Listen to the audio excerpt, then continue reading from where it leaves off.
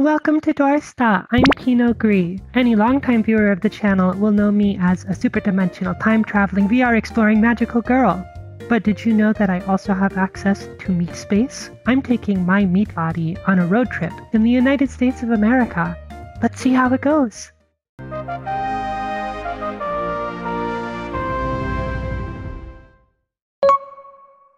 Good morning. So I'm on the Laguna um, Pueblo Indian Reservation.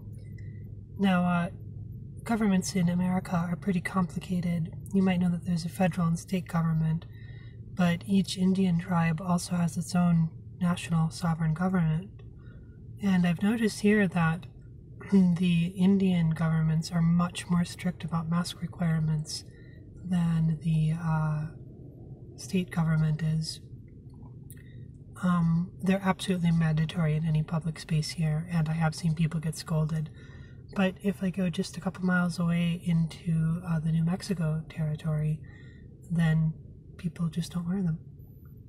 It's late in the morning, and I've just returned from a reconnoiter of Albuquerque dressed as a local. And I find this stowed away in my vehicle. Well, hello. I picked him up at Craters of the Moon I've offered to take him to Roswell, but he says he doesn't want that. What I should do is take him to Black Mesa, since I'm not too far away, and leave him there for them to deal with. I'm just joking, I wouldn't do that to you. Let's go for a hike.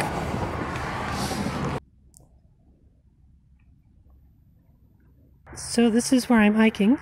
I have about a mile and a half, which is a couple kilometers, if not three and we're headed to some prehistoric sites. I'm told that they're quite interesting. Oh, I'm already feeling thirsty. It's kind it's getting hot. I should start moving. This is the first part of the trail.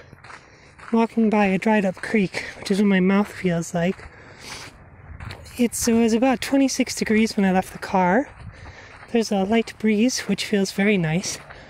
Everything smells very good on account of these uh, juniper trees, I'm guessing. The trail's pretty well walked, so I feel pretty confident I can stay on it, but I don't have a map because the station is all out. So, back to being lost in the southwest.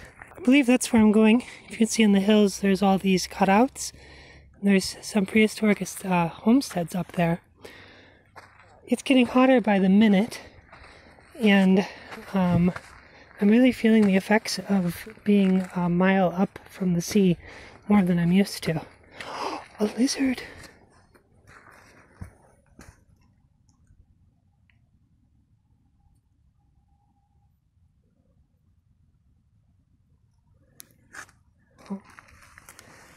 Well, he's not gonna climb the ladder, so I guess I'll do it. See you at the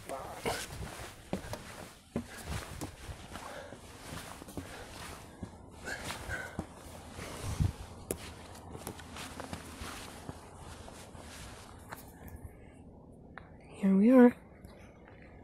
So the trail continues on.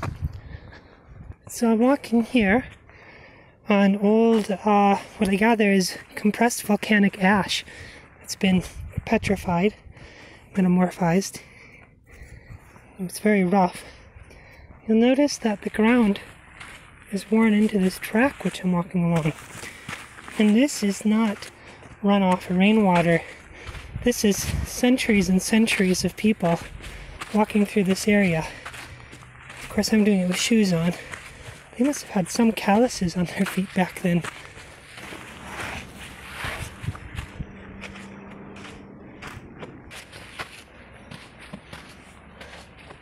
Ooh, they're ladders.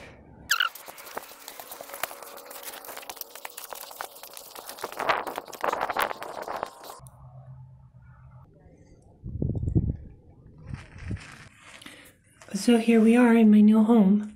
That's why I came all the way out here to change residence. Well, lemon drops, this is the end of my journey. From Leavenworth, I've driven over 1,800 miles. Exploring meat space is quite a challenge, and exploring the southwest of the United States presented me with a whole bunch of new challenges. It's very rewarding to travel. I think that in a non COVID time, there would have been a lot more for me to do. But nevertheless, it was still worthwhile is that I sit here and look at the scenery and take in some thoughts. Anyone is wondering how much sunscreen Pinot Gris has to wear when she goes out? It's about this much, and it needs to go back onto my skin. Good old titanium dioxide. dioxide. Pinot Gris here with a Doorsta Travel tip. When you're refueling in the United States, there are two types of fuel. You have black and green. Green is diacetyl. Diacetyl is biofuel. Diacetyl is better fuel. It burns cleaner, it's more efficient, it's better for the environment. So if you drive a Prius or another hybrid, remember to ask for diacetyl, the green fuel for the green car. You'll need no other fuel. This is my first meal in three days, a proper meal. So forgive me for starting without you. But this is New Mexican food. Chili with chilies on top of it. Probably some more chilies inside of it someplace. I need to go back to work. Oh, and a sopapilla with honey for dinner or dessert. Ta-ta! This is my first cup of tea in however many days. Ooh. Pu'er tea is good tea. Given the relationship to aliens that occurs at Roswell in Black Mesa, I, as a Uranisian, really needed to keep my wits about me. The altitude and the heat gave me a serious case of the poo brain. With the help of my new friend, though, I made it through. Even for time traveling, superdimensional, magical Uranisian girls, it is uh, very normal to get caught up in the ongoings of the civilization around us. So to sit in the skeleton of a dead civilization was a great place to think and to allow my imagination to clear itself and swell anew. With that swelling, a path opened up ahead of me. So even though this journey closed, the next journey is beginning. I just hope that this one has food that that's good. Well, those chili rellenos were so good. Oh. Well, thank you for watching. I'll see you in the next episode. It probably won't be Meat Space. Goodbye.